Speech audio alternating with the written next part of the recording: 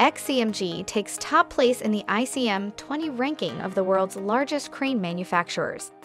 XCMG, the leading construction machinery manufacturer, has reported an annual sales revenue of USD 5.66 billion in 2020, taking the first place in the long-established ICM 20 ranking of the world's largest crane manufacturers released by the British KHL Group on the 12th of November.